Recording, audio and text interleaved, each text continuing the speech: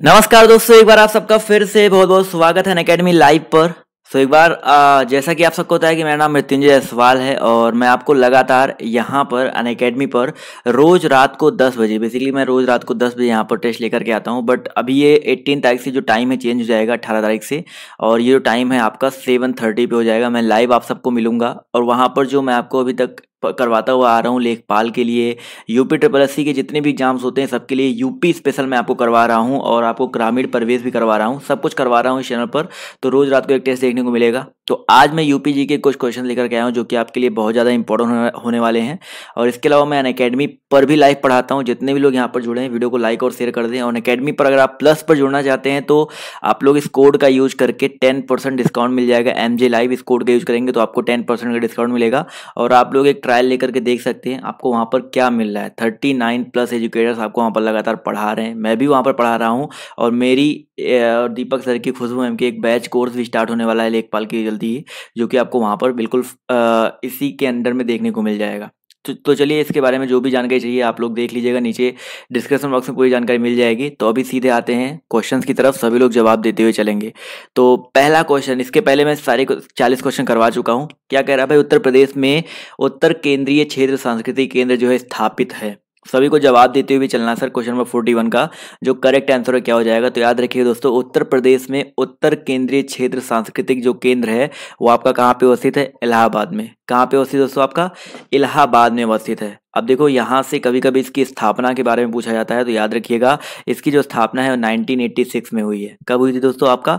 उन्नीस ईस्वी में हुई थी। अब तो इसका जो आंसर है, प्रयागराज बोला जाएगा, ठीक है? और ये बहुत सारी जगहों पे किया गया था बट केंद्र की बात करते तो आपका इलाहाबाद यहाँ पर करेक्ट हो जाएगा। अगला क्वेश्चन देखिए आपसे यहाँ पर क्या कह रहा है कि भाई उत्तर मध्य क्षेत्रीय सांस्कृतिक केंद्र कहाँ पर स्थित है? सेम क्वेश्चन रिपीट हो गया है बट कोई बात नहीं, यहाँ पर इलाहाबाद टिक कर देंगे और बढ़ेंगे अगले क्वेश्चन की ओर। तो देखिए इसका जवाब दीजिए सभी लोग, बहुत ही इंपॉर्टेंट क्वेश्चन है कि उत्तर प्रदेश का गुरु पूर्णिमा जो पर्व होता है, वो किस ऋषि को समर्पित है? गुरु पूर्णिमा पर्व के बारे में बात हो रही है तो याद रखिएगा, व्यास है, वाल्मीकि है, वशिष्ठ है और भृगु दिया गया है। तो सभी लोग जवाब देते हुए हुए चलेंगे। जवाब देखिए, यहाँ पर आना शुरू हो गया तो याद रखिएगा, उत्तर प्रदेश का जो गुरु पूर्णिमा पर्व है, ये व्यास, गुरु व्यास को समर्पित है तो यहाँ पर ऑप्शन नंबर जो इसका ए है, वो यहाँ पर बिल्कुल करेक्ट हो जाएगा। वो जो जून से अगस्त के बीच में ये बेसिकली पड़ता है गुरु पूर्णिमा पर्व, और गुरु ऋषि व्यास को ये समर्पित होता है। क्लियर है? चलिए, आते हैं अगले क्वेश्चन पर। तो देखिए, यहाँ पर क्या कह रहा है कि निम्नलिखित में से किस स्थान पर मुड़िया पूर्णिमा मेला का आयोजन किया जाता है? बताइए सर। मुड़िया पूर्णिमा मेला का आयोजन जो है, किस स्थान पर किया जाता है? आपके सामने चार ऑप्शन है, बटेश्वर, गोवर्धन, कन्नौज, सरधाना। सभी लोग जवाब देते हुए चलेंगे, सर तो बहुत ही इंपॉर्टेंट क्वेश्चन है। मुड़िया पूर्णिमा या मुरिया पूर्णिमा मुरिया पूनो मेला इसको बोला जाता है और जो इसका आयोजन है बेसिकली प्रतिवर्ष, हमेशा कहाँ कहाँ पे होता है, सर? गोवर्धन। कहाँ पे दोस्तों? गोवर्धन, मथुरा, वृंदावन। यहाँ पर होता है गुरु पूर्णिमा के अवसर पर तो ऑप्शन जो इसका सी है, वो यहाँ पर बिल्कुल करेक्ट हो जाएगा। गोवर्धन मथुरा वृंदावन में आपका होता है। अगला देखिए यहाँ पर क्या कह रहा है कि उत्तर प्रदेश में जैन और बौद्ध धर्म दोनों का प्रसिद्ध तीर्थ कौन सा है? सभी लोग जवाब देते हुए चलेंगे, सर। ऐसा कौन सा तीर्थ है जो जैन धर्मों के लिए और बौद्ध धर्मों के लिए दोनों के लिए प्रसिद्ध है? फटाफट सभी लोग जवाब देते हुए चलेंगे। जवाब देखिए यहाँ पर आना शुरू हो गया है तो याद रखिए दोस्तों, उत्तर प्रदेश में आपका जो कौसाम्बी है कौसाम्बी जो है दोस्तों जैन धर्म के लिए और बौद्ध धर्म दोनों के लिए आपका प्रसिद्ध तीर्थ है ठीक है? तो ऑप्शन जो इसका बी है वो यहाँ पर बिल्कुल करेक्ट हो जाएगा।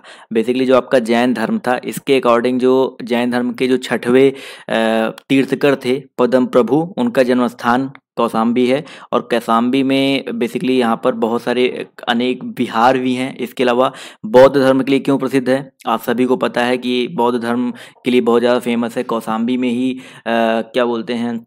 बौद्ध, बौद्धों के बहुत सारे विहार हैं, अशोक का जो स्तूप है, वो भी आपका कौसाम्बी में ही है तो इसीलिए ये जो दोनों धर्म है, इनके लिए आपका फ़ेमस है। आते हैं अगले क्वेश्चन पर तो देखिए यहाँ पर क्या कह रहा है कि भी उत्तर प्रदेश में जैन और बौद्ध धर्मों दोनों का प्रसिद्ध तीर्थ। सेम क्वेश्चन रिपीट हो गया तो कौसाम्बी टिक करेंगे। अगले क्वेश्चन पर आएँगे, देखिए क्या कह रहा है कि प्रति वर्ष प्रसिद्ध सूफी संत हाजी वारिस अली शाह की मजार पर मेला लगता है, कहाँ पर? संत हाजी वारिस अली शाह की बात हो रही है। सभी लोग जवाब देते हुए चलेंगे। Forty seven. बताइए करेक्ट आंसर क्या हो सकता है? चलिए। भाई, अगर हम बात करते हैं भाई, सूफी संत हाजी वारिस अली शाह के बारे में तो ये जो मेला है आपका, देवा शरीफ बाराबंकी में तो जितने भी लोग जवाब दे रहे हैं ऑप्शन नंबर सी वो लोग यहाँ पर बिल्कुल करेक्ट हो जाएँगे क्लियर है? तो ऑप्शन सी जो है यहाँ पर करेक्ट हो जाएगा। अगला देखिए क्या कह रहा है। निम्नलिखित स्थानों में कहाँ शाकुंभरी देवी मेले का आयोजन किया जाता है? बहुत ही इंपॉर्टेंट क्वेश्चन है आपकी UP P S C R O A R O हर जगह क्वेश्चन कई बार इस तरह के क्वेश्चन पूछे जाते हैं, यहीं से क्वेश्चन आपके बनते हैं। फोर्टी एट सभी लोग जवाब देते हुए चलेंगे सर शाकुंभरी मेली शाकुंभरी देवी मेले का आयोजन जो है कहाँ पे किया जाता है? जवाब देखिए, यहाँ पर जितने भी लोग जवाब दे रहे हैं भाई, ऑप्शन नंबर डी, सहारनपुर। वो लोग यहाँ पर बिल्कुल करेक्ट हो जाएँगे। तो शाकुंभरी देवी मेले का आयोजन दोस्तों, आपका कहाँ पे होता है? सहारनपुर में होता है। क्लियर है? अगला क्वेश्चन ध्यान से देखिएगा। कई सारे क्वेश्चन यहाँ पर तैयार हो जाएँगे आपके। मिलान बेसिकली करना है कैलाश मेला, नवचंडी मेला कालिंजर मेला और सोरो मेला। तो आपको बताना है कि इनका मिलान किससे किससे हो जाएगा? मतलब कौन कौन से स्थान पे होता है? बहुत ही आसान है क्योंकि यहाँ पर कैलाश मेला की बात करते हैं तो कैलाश मेला जो, जो होता है आपका आगरा में ही किया जाता है तो पहले का पहले से मिल जाएगा। और नवचंडी मेला दोस्तों आपका मेरठ में होता है और कालिंजर मेला दोस्तों आपका बांदा में होता है और सोरो मेला एटा में होता है। तो सारे वन टू थ्री फोर ही हो जाएँगे तो ऑप्शन जो इसका ए है वो यहाँ पर क्या हो जाएगा? बिल्कुल करेक्ट हो जाएगा। अगले क्वेश्चन पर आते हैं तो देखिए क्या कह रहा है। सैयद सालार मेला आयोजित किया जाता है। सारे मेले से संबंधित बहुत सारे इंपॉर्टेंट क्वेश्चन है। सब फटाफट सभी लोग जवाब देते हुए चलेंगे। सैयद सालार मेला आयोजित होता है बहराइश में, फतेहपुर सीकरी में, बाराबंकी में या गोंडा में। सारे कमेंट्स में देख रहा हूँ तो याद रखिए दोस्तों, सैयद सालार मेला की बात होती है तो यहाँ पर ये बहराइश में। कहाँ पे दोस्तों? बहराइच में। तो ऑप्शन जो इसका ए है, वो यहाँ पर बिल्कुल करेक्ट हो जाएगा। ठीक है? सैयद सालार मसूद अगर इनके पूरे नाम बात करते हैं, किसके लिए मनाया जाता है, मेला आयोजित होता है तो सैयद सालार मसूद, पूरा नाम था, एक महान संत थे, और हिंदू धर्म और मुस्लिम धर्म दोनों धर्म वाले लोग जो है इनको मानते थे, दोनों धर्म के लिए पूजनीय थे तो यहाँ पर ये इनका जो मेला मेला है, बहराइच में आयोजित किया गया था, जाता है, ठीक है? इनकी दरगाह, क्योंकि बहराइच में ही, इसी वजह से ये जो मेला है, बहराइच में ही आयोजित होता है। अगला देखिए, यहाँ पर फिर से आपको मिलान करना है। सूची वन और सूची टू का। फटाफट क्वेश्चन देख लो बटेश्वर सबको पता ही है। देवा के बारे में मैंने आपको बताया था तो दो तीन तो दो तो आप आप, आप मिला लोगे तो आगे अपने आप बता सकते हो। जैसे देवा शरीफ जो आपका बाराबंकी में है। सबको पता ना देवा शरीफ जो आपका बाराबंकी में है और बटेश्वर मैंने इसके पहले वाले वीडियो में बताया था आगरा में है। तो एक तो आपका क्लियर हो गया सर एक और तीन और एक और तीन में एक हो गया सॉरी पहले का तीन हो गया और दूसरे का एक हो यानी कि तीन और एक और तीन और एक से सिर्फ़ डी वाला ऑप्शन देखिए स्टार्ट हो रहा है। यानी कि चौ हरिदास जयंती आपका वृंदावन हो जाएगा और नौचंदी का मेला आगरा में लगता है तो सबको ही पता है। तो याद रखिए सॉरी आगरा कह रहा हूँ, मेरठ में लगता है तो ये सबका ही पता है। तो यहाँ पर नौचंदी आपका क्या हो जाएगा? मेरठ हो जाएगा। तो तीन, एक, चार, दो तो ऑप्शन नंबर जो इसका डी है, वो यहाँ पर क्या हो जाएगा? बिल्कुल करेक्ट हो जाएगा। अगला देखिए क्या कह रहा है कि हरिदास जयंती प्रतिवर्ष मनाई जाती है। बताइए, हरिदास जयंती बताइए, प्रतिवर्ष मनाई जाती है कहाँ पर? झांसी में, वृंदावन में, मथुरा में या वाराणसी में? फिफ्टी थ्री सभी लोग जवाब देते हुए चलेंगे, सर। हरिदास, अभी पिछले वाले क्वेश्चन में सर हरिदास जयंती मिला था ना? चलिए, उसको तो अगर आपने क्वेश्चन ध्यान से देखा हो, इसका जवाब तो करेक्ट दे देंगे तो बिल्कुल सही बात है सर। हरिदास जयंती जो आपकी वृंदावन में मनाई जाती है। अभी देखिए, पिछले वाले क्वेश्चन में आपको ये क्वेश्चन मिला था, देखिए, हरिदास जयंती वृंदावन वृंदावन, यहाँ पर दिया था तो यहाँ पर भी क्या हो जाएगा आपका? वृंदावन हो जाएगा। क्लियर है? अगला क्वेश्चन देखो क्या कह रहा है।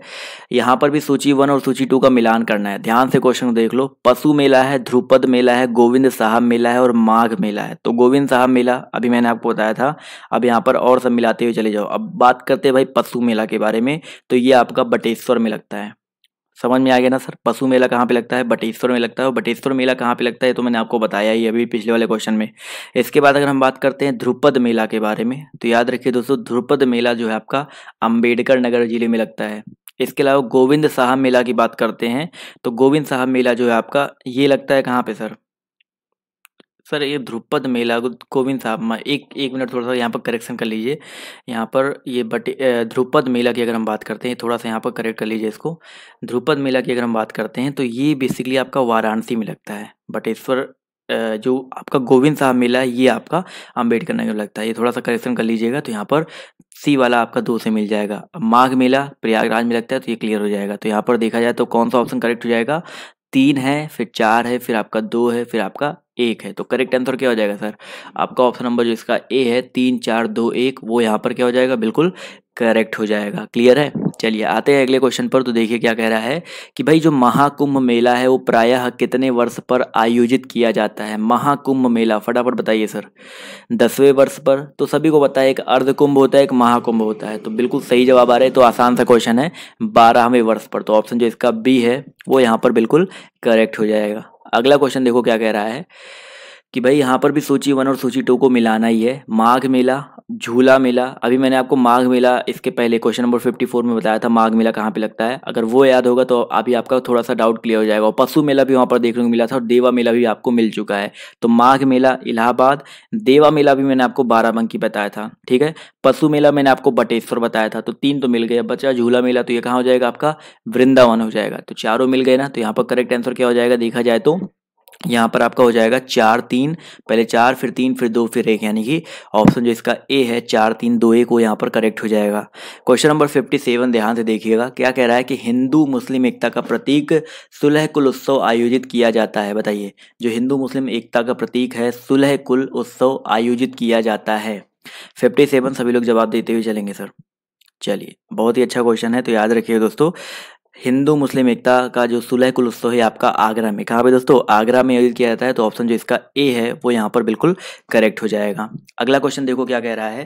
यहाँ पर भी सूची वन और सूची टू को मिलाना ही है। ध्यान से क्वेश्चन देख लीजिए, अपने आप क्वेश्चन का आंसर आपके सामने होगा। चक्र तीर्थ है, गोविंद देव है, सलीम चिश्ती की दरगाह है और बौद्ध और जैन धर्म। तो यहाँ पर बेसिकली तीर्थ स्थल है, उनको नगर स्थान से मिलाना है। अभी मैंने आपको बताया था, बौद्ध और जैन मंदिर आपका बेसिकली कहाँ पर स्थित हो सकता है, बताइए।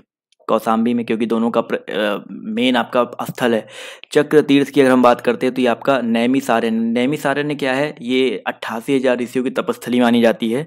गोविंद देव मेला यहाँ पर दिखी दिया गया है तो याद रखिएगा, ये आपका वृंदावन से हो जाएगा, और सलीम चिश्ती की दरगाह सभी को पता है, फतेहपुर सीकरी में है। तो इसका जो करेक्ट आंसर बताइए, क्या हो सकता है सर यहाँ पर देखा जाए तो चार, तीन, दो, एक से मिलाया है ना? तो यहाँ पर लास्ट वाला एक से, ठीक है? तो यहाँ पर ऑप्शन जो इसका डी है, चार, तीन, दो, एक, वो यहाँ पर क्या हो जाएगा? बिल्कुल करेक्ट हो जाएगा।